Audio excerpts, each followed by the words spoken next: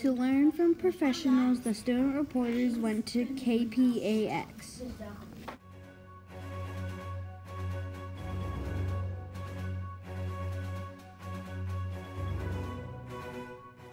KPAX reporter Don Fisher showed us around KPAX studios.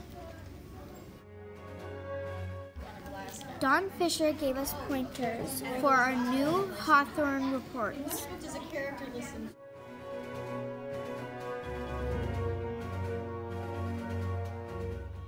There are a lot of behind the scenes workers that aren't seen on television. They push the buttons, take pictures, and they keep everything on time. While touring KPAX, we met anchor Jill Valley. She has been on the news for 25 years. At KPAX, they do their own makeup and hair in this room. In bigger cities like New York, professionals do it for them.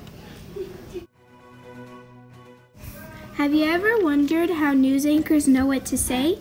They read off a screen called the teleprompter. We all practiced using the teleprompter.